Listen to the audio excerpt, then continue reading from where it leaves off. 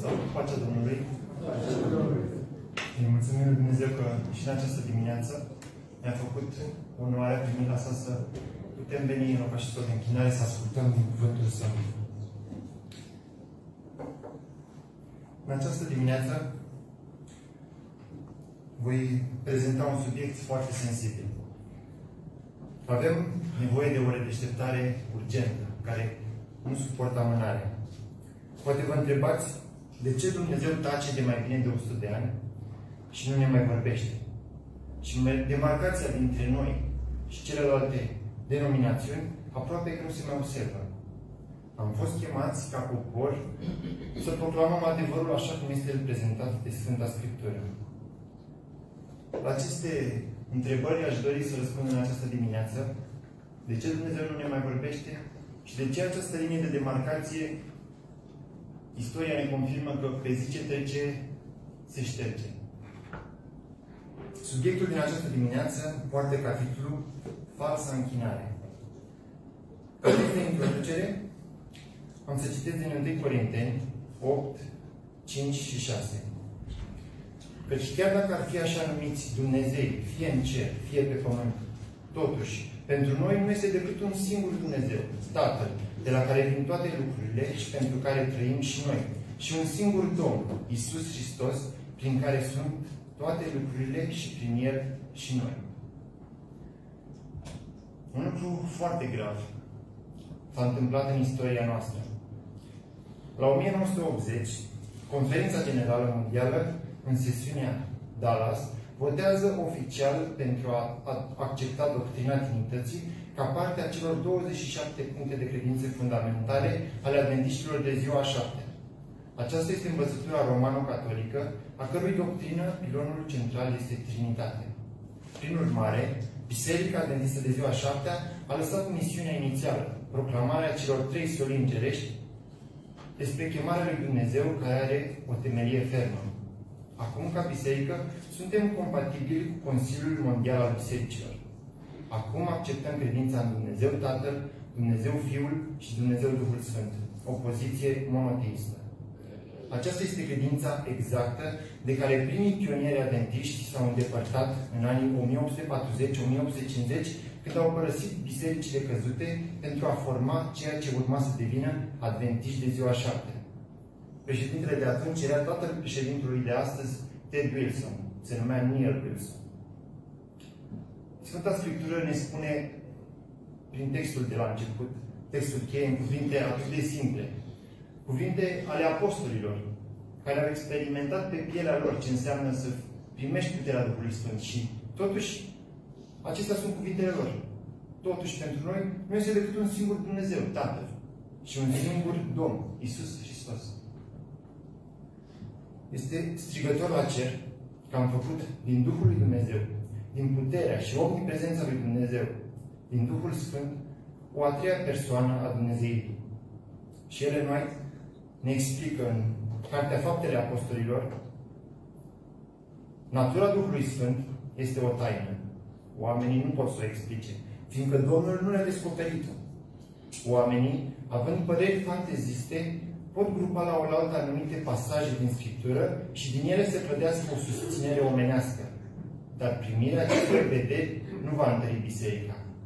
Privirea la asemenea taine, care sunt prea adânci pentru priceperea omenească, tăcerea este de aur. Nu cred că mai necesită alte comentarii acestui pasaj.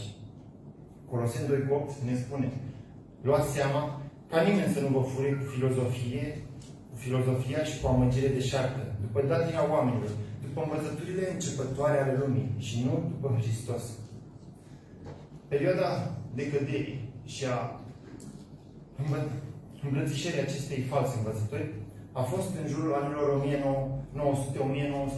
1900-1930 și am aici o cronologie adventistă, începând de la 1860 până în 2018, în care este punctat fiecare, marchează fiecare fiecare decizie majoră a Bisericii Adventiste și explică atât de clar cum pionierii noștri au luptat împotriva acestei învățături. Am mai multe exemplare, dacă sunteți curioși la sfârșit, ca să înțelegem mai bine, trebuie să vedem și din punct de vedere istoric când a luat ființa această mare înșelăciune a doctrinei Trinității.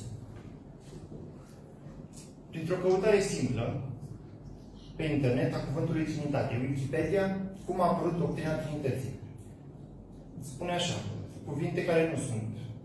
Sunt din Enciclopedia Americană și Enciclopedia Britanică, două citate. Drumul de la Ierusalim la Nicea poate fi numit cu greu un drum drept.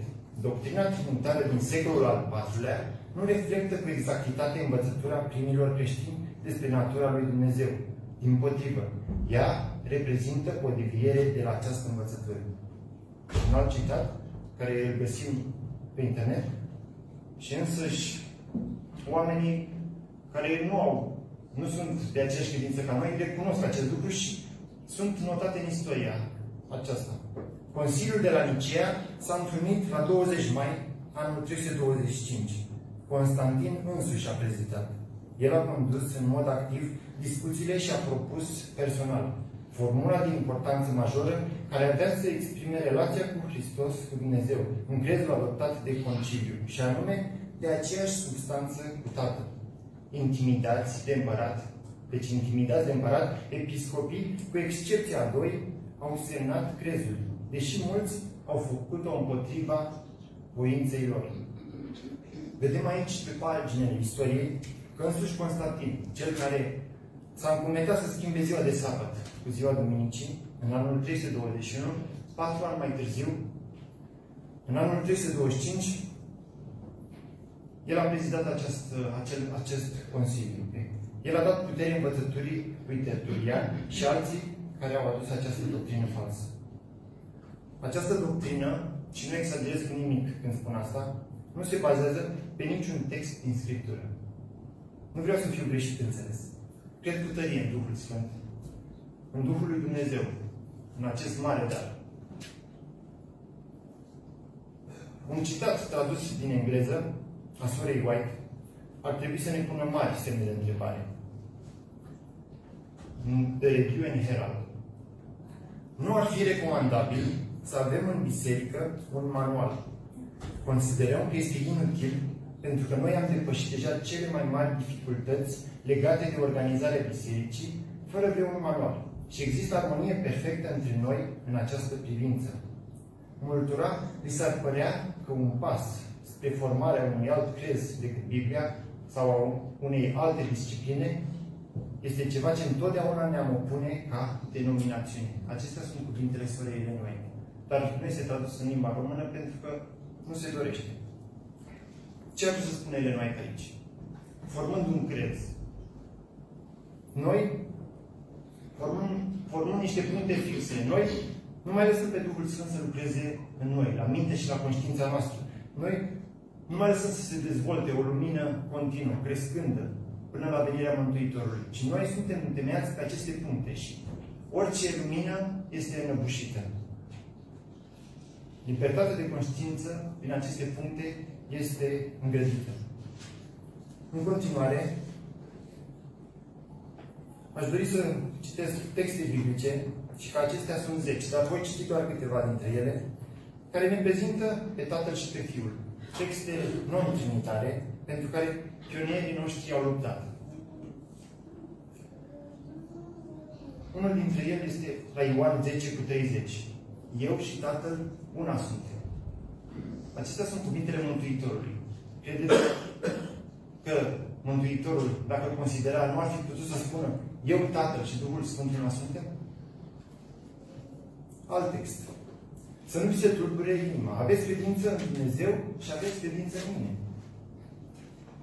Ioan 17 cu 3. Și viața veșnică este aceasta. Să te cunoască pe tine, singurul Dumnezeu adevărat și pe Iisus Hristos pe care l-ai primit tu.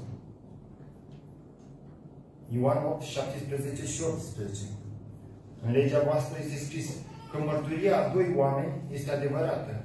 Deci despre mine însumi mărturisesc eu. Și despre mine mărturisește și Tatăl care m-a trimis.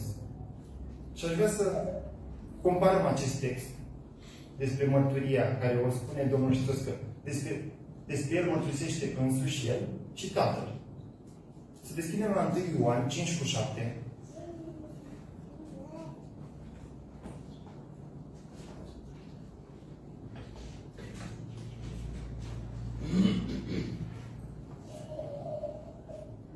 Și dacă observați, acest text este în paranteză. Acest text a, a fost adăugat sub presiunea Bisericii Romano-Catolice. Și spune așa, păi trei sunt care mărturisesc în cer. Tatăl, Cuvântul și Duhul Sfânt. Și acești trei una sunt. Deci aceasta nu este o traducere originală a Sfintei Scripturi. Și ce este cel mai grav este că acest text este adăugat chiar și în manualul nostru ca text cheie, de memorizat pentru a explica Trinitatea. Apocalipsa spune clar, în capitolul 22, că oricărui aude cuvintele prorociei din cartea aceasta, sau va adăuga cineva ceva la ele, Dumnezeu îi va adăuga urgile scrise în cartea aceasta. Și dacă va scoate cineva din cuvintele cărții, îl va scoate și Dumnezeu partea lui de la pomul vieții. Să mergem mai departe. 1 Ioan 1 cu 3. Deci ce am văzut și am auzit, aceea vă vestim și vouă, ca și voi să aveți părtășie cu noi. Și părtășia noastră, aceasta sunt cuvintele apostolilor, părtășia noastră este cu Tatăl și cu Fiul Iisus Hristos. 2 Ioan 1 cu 9 și 1 până 11. Oricine o ia înainte și nu rămâne învățătura lui Iisus Hristos, nu are pe Dumnezeu. Cine rămâne în învățătura aceasta, are pe Tatăl și pe Fiul.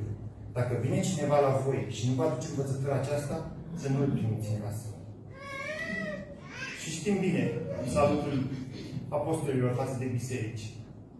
Har și pace de la Dumnezeu Tatăl și de la Domnul Isus Hristos.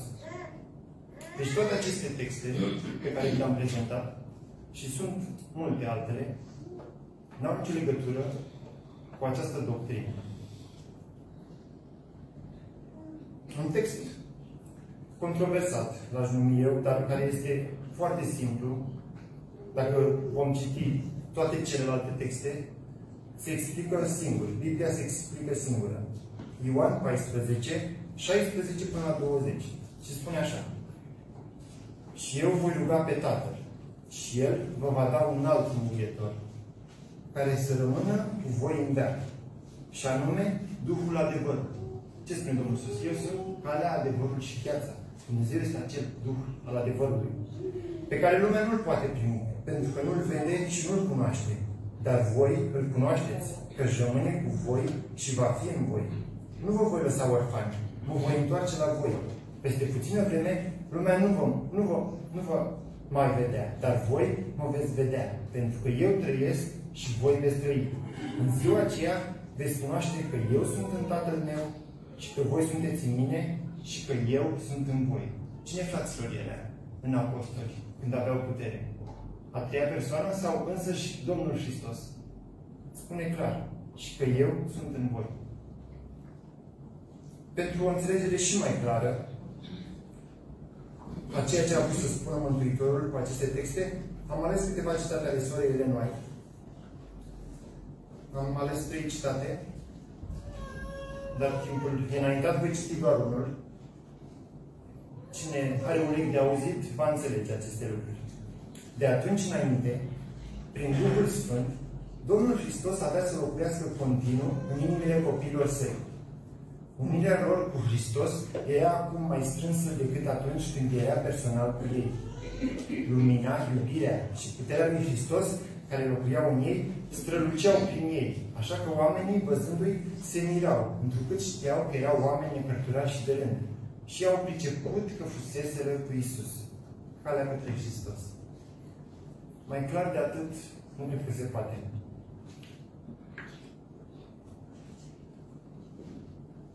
Aș dori, ca să înțelegem și mai clar, să comparăm două versete.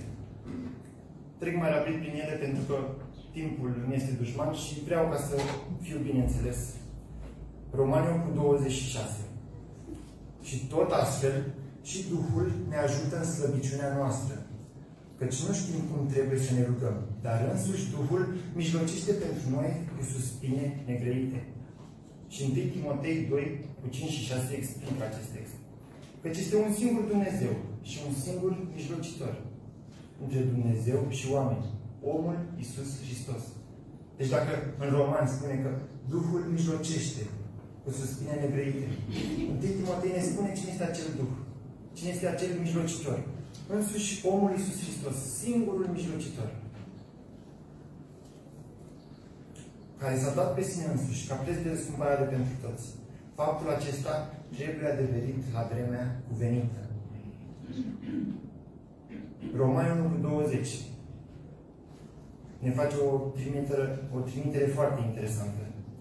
În adevăr, însușirile nevăzute ale Lui, puterea Lui veșnică și Dumnezeirea Lui se văd lămurit de la facerea lumii. Când te uiți cu băgare de seamă la ele, în lucrurile făcute de El, așa că nu se pot dezvinovăți. Și aș dori să, să mergem, să ne aducem aminte la crearea omului. În Geneza 1 cu 26 să auzim acest text. Să facem om după chipul nostru, după asemănarea noastră. Dacă era un singur Dumnezeu, ar fi trebuit să fie să facem om după chipul și asemănarea mea. Să fac, fac om după chipul și asemănarea mea. Dar acolo erau două persoane. Domnul Isus și Dumnezeu, Tatăl. Duhul Sfânt explică foarte bine în Luca 24 Domnul Isus. De ce vi se zic astfel de gânduri în inimă? Uitați-vă la mâinile și picioarele mele. Eu sunt. Chipăiți-mă și vedeți. Un duh nu are nici carne, nici oase, cum vedeți, ca am eu. Putem fi după chipul și asemănarea altor persoane decât a Tatălui și a Fiului? Clar nu. Și Romanii spune că aceste lucruri se văd lămurit dacă ne uităm cu băgare de seamă.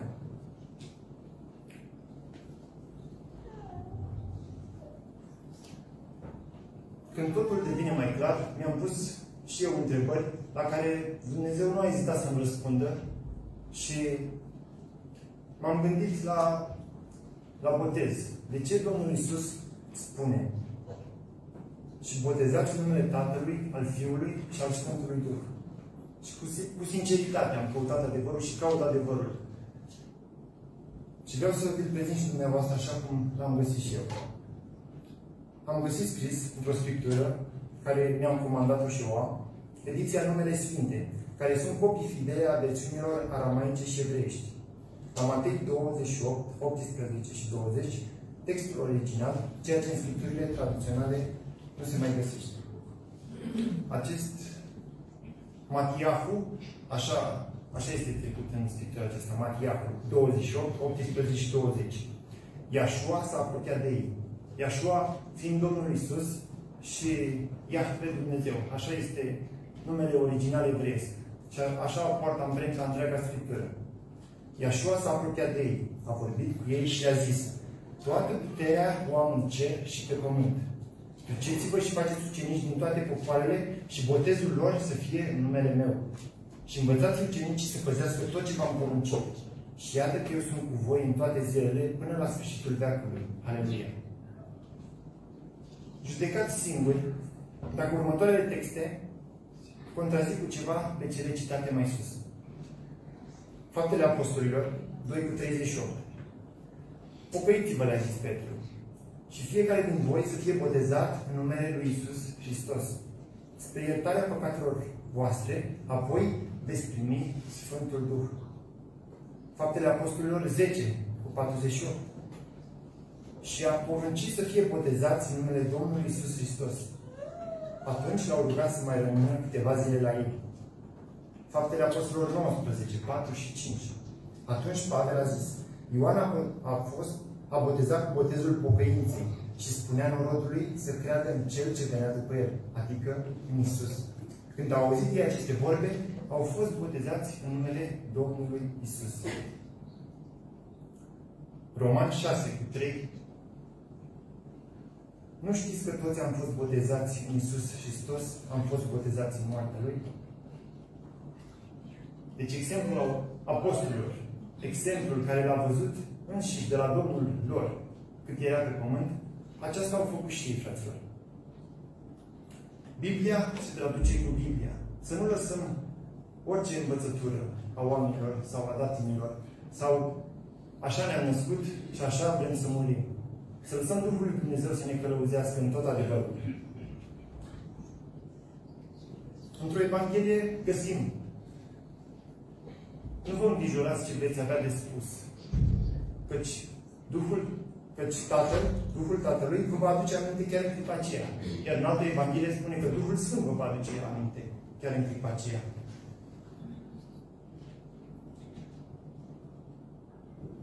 mi-am pus întrebarea ce a vrut să spună când a spus că orice păcat vă va fi iertat. Dar gura împotriva Duhului Sfânt nu vă va fi iertată. Și, și la această întrebare am găsit un răspuns în Hristos Lumina Lumii, în uh, capitolul Cine sunt frații mei? Nu mi-am notat, dar uh, vă spun în timp limitat și vă spun cam ce vrea să spun acolo. Chiar vă sfătuiesc să citiți acasă acest capitol. Cine sunt frații mei? Domnul Isus, când a făcut minune și a vindecat un orb mult demonizat, fariseii îl acuzau că scoate aceste duhuri cu Belzebul. Și ele noi spune că ei în sinea lor nu credeau acest lucru, dar din orgoliu și din mândrie îi aduceau aceste acuzații lui Isus. Și tot astfel, repetându-le, repetându-le, au ajuns ca această minciună să fie crezută. Acest Duh Sfânt este Cel care lucrează la inima noastră, este Cel care ne arată lumina, ne arată adevărul, dar noi, refuzând o lumină, a doua lumină este din ce în ce mai slabă, până când întunericul ne va cuprinde de tot.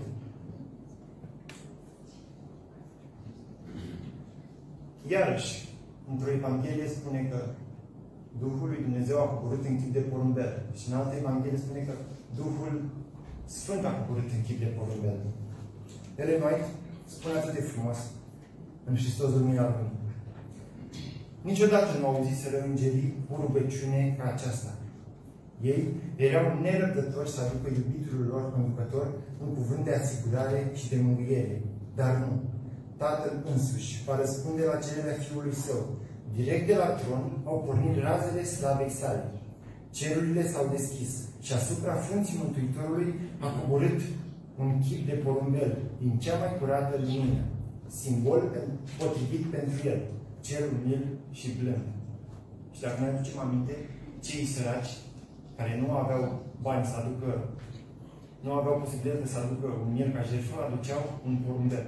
Și acest porumbel îl simboliza pe Isus, cel mil și blând. Faptele Apostolilor 5 ne spune destul de clar. Trebuie să ascultăm mai mult de Dumnezeu decât de oameni.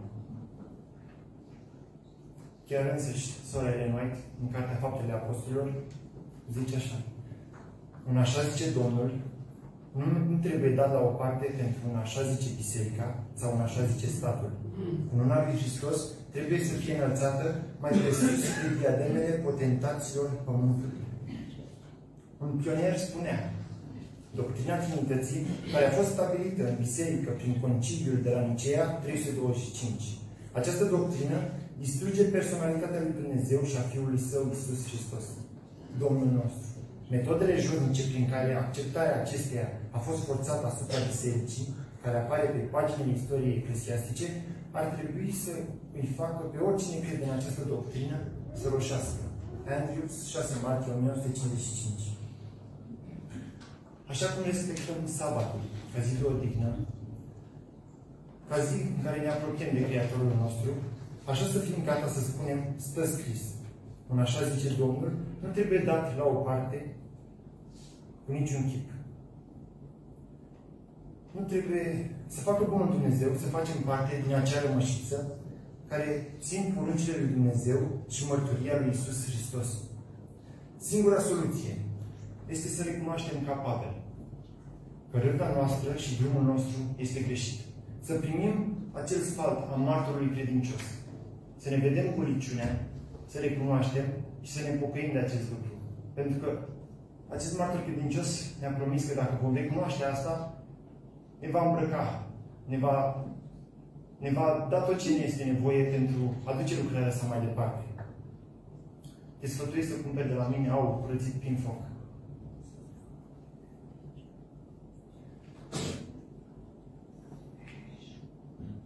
Imaginea Apostolului Pavel, al lui Ștefan, care arăta ca un înger.